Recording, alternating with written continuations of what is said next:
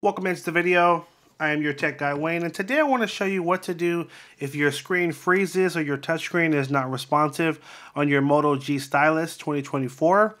Basically you're going to hold down on this button combination and this will trigger a what is called a soft restart.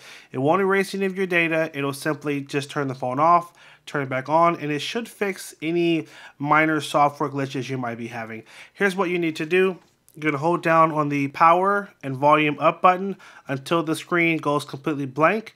And that's how you'll know the restart was successful. Let's do it right now. Power, volume up. You want to hold them together. So let's count to three and hold. One, two, three, hold. You will see this menu pop up. Continue to hold the buttons. And after about five seconds, the screen will just go blank.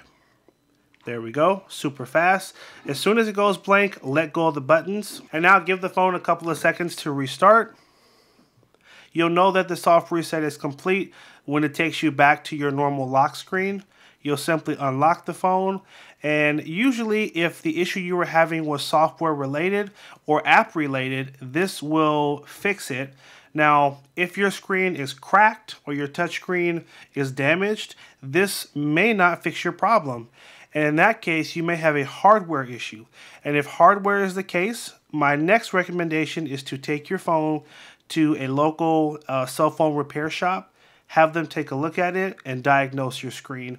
It could be that because your screen is damaged, it's causing issues with the touch, and therefore you may need to look into getting it replaced. Okay, I will link below in the description of where you can get a new um, LG Stylo if um, it, it, might be cheaper for you to just buy a new phone versus getting the screen replaced. So you want to keep that in mind. As you can see here, the phone is back on. Everything is working like normal. So that is the process to do what's called a soft reset. If you got value out of this video, make sure you bump that like button down below. I'll link some other really helpful videos here and here. Thanks again for watching. Take care, and as always, have a good one.